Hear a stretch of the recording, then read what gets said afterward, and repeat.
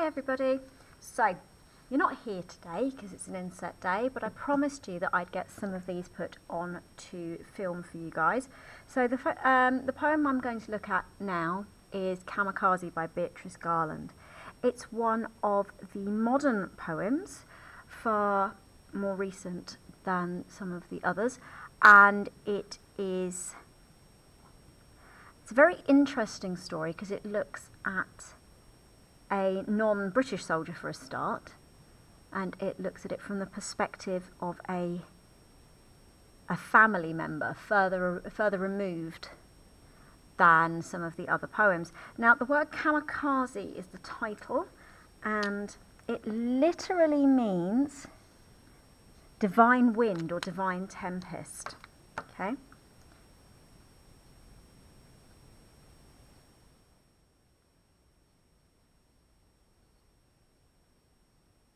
Now, already we've got a direct comparison here, looking at just the titles alone with Storm on the Island.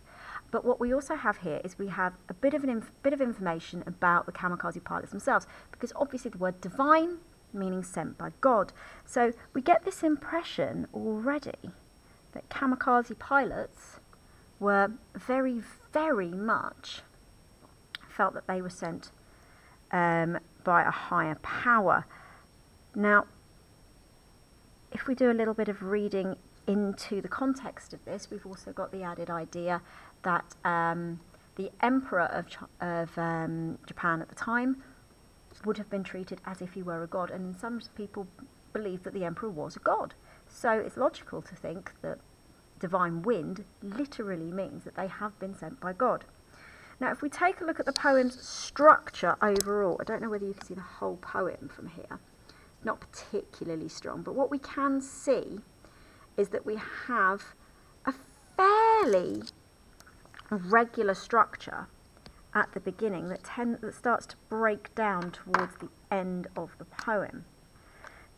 And we have two very distinct parts. So we've got a fairly regular stanza structure.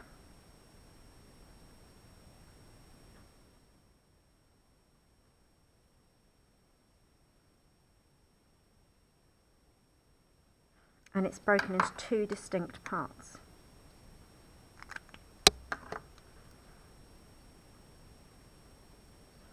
The first section appears to be some form of interview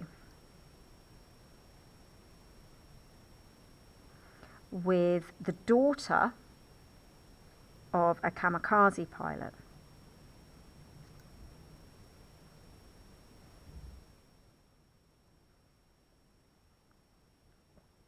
It's third person, it's uh, removed from the events. The second part is her direct speech.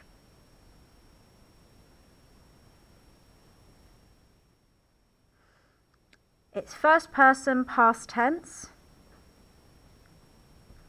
Haven't of space. And it's it's very, very different voice far more emotional, far more um, closely related to the story. And she actually starts speaking bef- um, briefly before we get into that section. So if we go up and have a look at it stanza by stanza, we start with the very first stanza here. Her father embarked at sunrise with a flask of water, a samurai sword in the cockpit, a shaven head full of powerful incantations and enough fuel for a one-way journey into history. So right away, with the word her, we recognise that the story is being told by the daughter.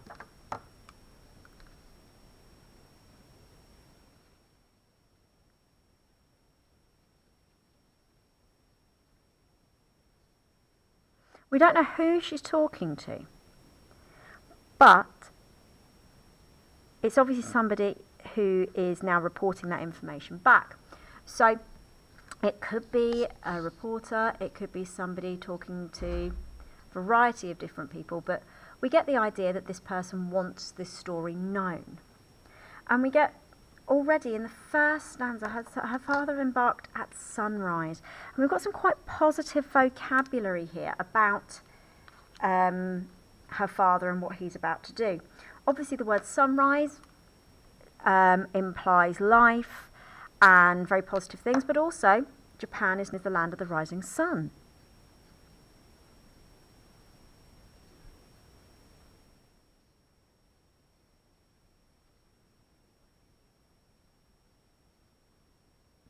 So that implies an awful lot more positive things again about the ideas in the poem.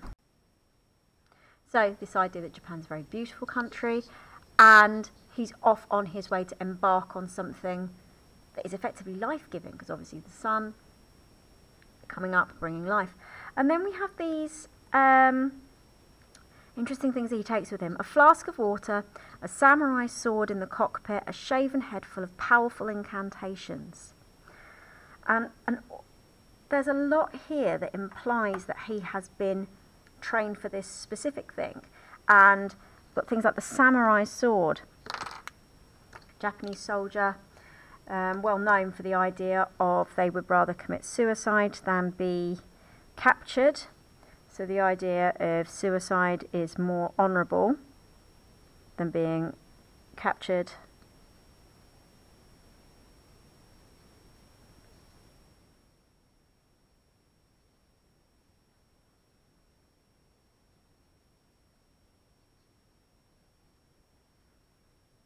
rather than dying without honour.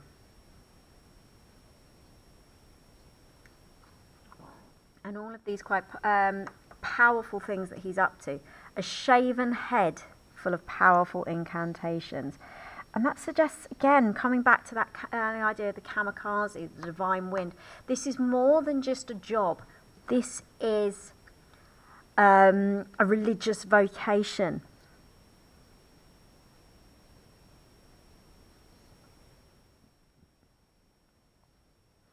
You know, shaven head full of powerful incantations implies that he's actually been prepared for this on a religious basis, a theological basis, rather than just on training. And enough fuel for a one way journey into history. She sounds really positive about this. I can almost imagine her saying this herself. But we could also look at that as being mildly sarcastic. You know, um, yeah, real one way journey into history. So it's one or the other.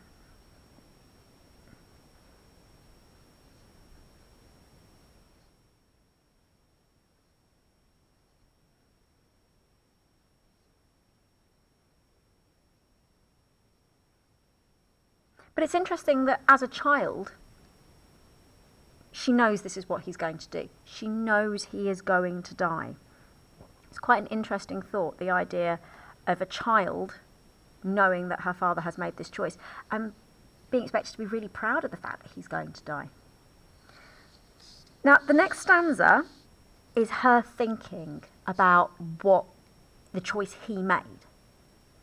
But halfway there, she thought, recounting it later to her children, he must have looked far down at the little fishing boats strung out like bunting on a green-blue translucent sea, and beneath them, arcing in swathes like a huge flag, waved first one way, then the other in a figure of eight, the dark shoals of fishes flashing silver as their bellies swiveled towards the sun. So if we go up to the top here, first of all, halfway there she thought. So this is her perception of it. She never knew She doesn't actually know. Okay?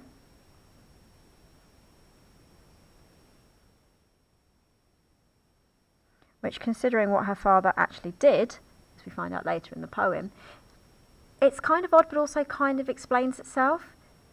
That whole idea of the fact that despite the fact he does come back alive, she never spoke to him again because she was um, she was encouraged to treat him as if he'd never come back. He must have looked down at the little fishing boats, strung out like bunting on a green-blue translucent sea. And we have this beautiful image here. First of all, we've got the little fishing boats, strung out like bunting, that lovely simile suggesting celebration, joy,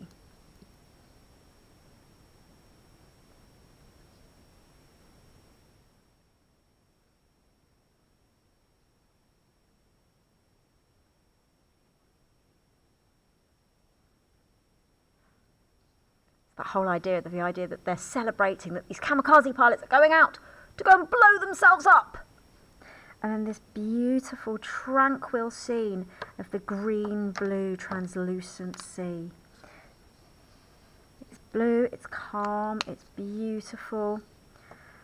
Up against that, um, the idea of the fact that they're celebrating this you know, effectively waste of life, you could argue that this is quite ironic.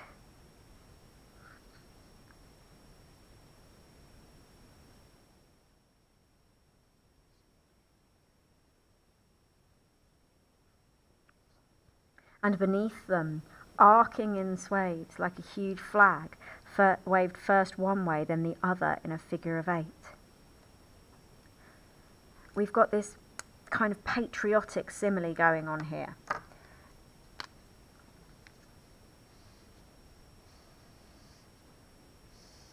This idea that a flag is what they're following. They go one way, then the other, they follow the flag.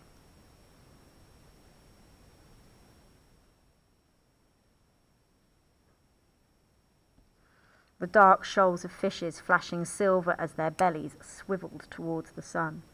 And at first thought, when we're, when we're looking at this, we think, oh yes, must be talking about the fish underneath the sea. And then we think about them flashing silver as their bellies swiveled towards the sun. And we realise that it's a metaphor. It's this whole idea of the fact that the fish are actually the planes.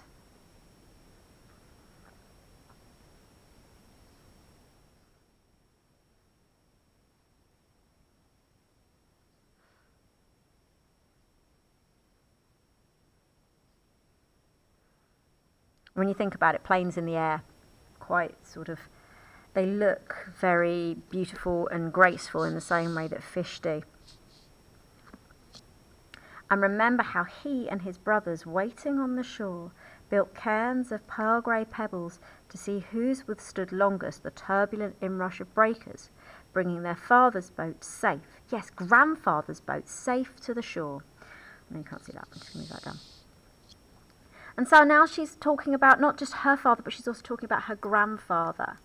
He and his brothers waiting on the shore, built cairns of pearl grey pebbles. They're waiting for their father to return.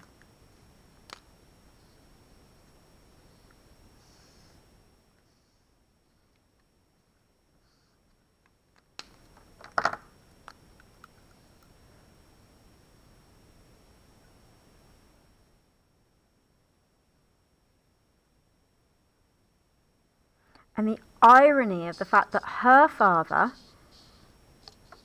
is standing on the shore waiting for his father to come home safe.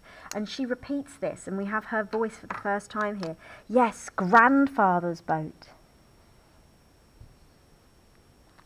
It's interesting how she refers to her grandfather as grandfather, because when we, the only time the words father are mentioned in the poem, we have her father at the top, third person reported speech, and we have the father. She never says my father. So it's almost like her grandfather is um, more alive to her than her father. He is personal. Her father, she really doesn't ever mention by name at all. Safe to the shore. And that alliteration there really pulls that out. Salt sodden, awash makes it stick out that word safe.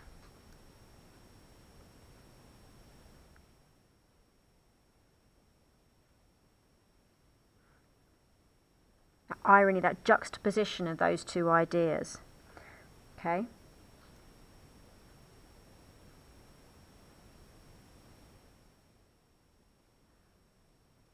Her father is waiting for her fa- um, for grandfather to come home.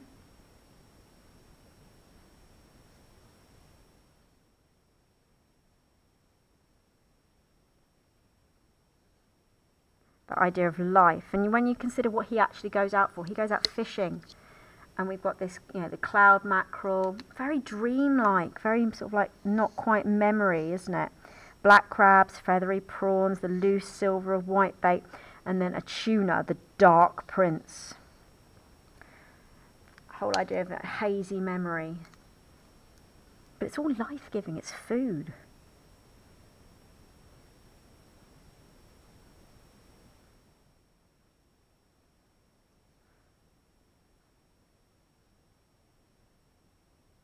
I mean, even the tuna, which is, you know, described as being dangerous,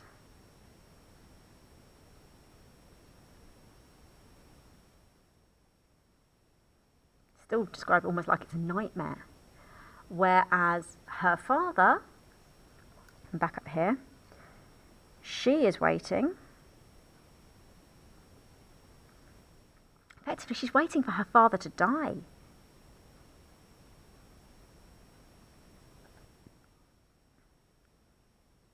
And the irony of that juxtaposition there, it's almost laughable, that whole idea that, you know, grandfather was going out to bring back life for us, food. Her father is going back to bring death to both himself and the enemy. And then we go into this little bit here, which is all in italics, which is her words. And though he came back, my mother never spoke again. And here we have first person address, my mother.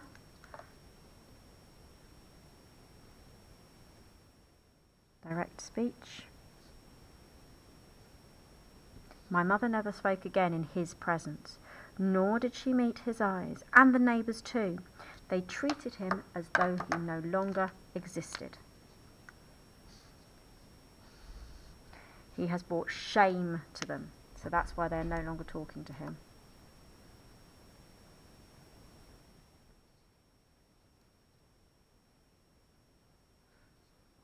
Only we children still chattered and laughed till gradually we too learned to be silent. And it just emphasises this whole idea of the, of the idiocy of this. The children have to learn to be silent. They don't get it. They don't understand at first.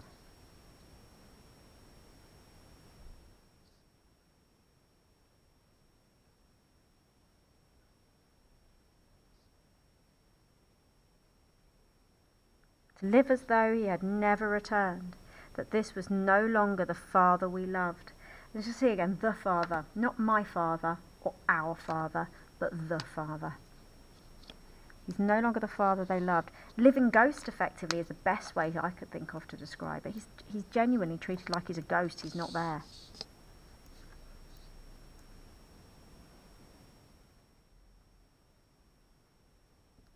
And sometimes, she said, so we're now back into that third person section here.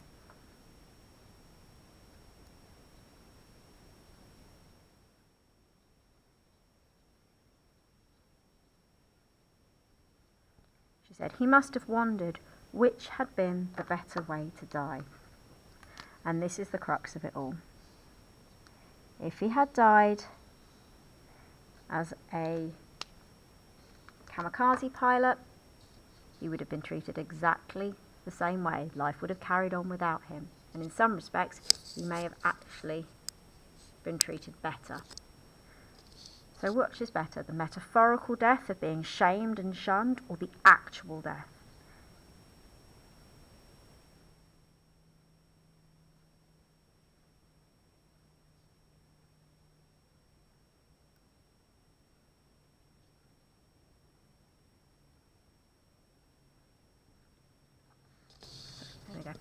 So there's a lot we can say about this poem and a lot of poems we can compare it to. Works very well with poppies. It works very well with um, remains. It works very well with Charge of the Light Brigade, the idea of um, the futility of war. It works very well with Exposure, with um, Bayonet Charge, any of the war poems. And it also works well with the nature poems as well, because there's so much natural imagery. Um, there's this whole idea of uh, this blue sea looking down on the sea and the, the kamikaze being a wind itself works very well with Storm on the Island, works very well with the prelude, the whole idea of man versus nature. Um, you could even look at this in comparison to Ozymandias as well. And it also works well with the idea of corruption, the idea of um, people in power taking away from those who have little power. You know, if we look at the history, the context of the kamikaze pilots, they were often very young, very inexperienced, and they were being told that they were doing this in order to bring honour to their emperor, bring honour to their families. When in reality, they were basically being a, um, a piloted bomb. And it was used as a technique to scare the, the enemy, the fact that these people were like, I do not care. I am going to throw myself at this thing because, you know, we believe we're right. Terrifying image when you think of the American soldiers that were looking up at these, these pilots coming down on them. And, I mean, I think it's a beautiful poem. It's one of my favourites in the whole section. And it's, it's really sad as well. Okay, so that's that one. Thank you very much.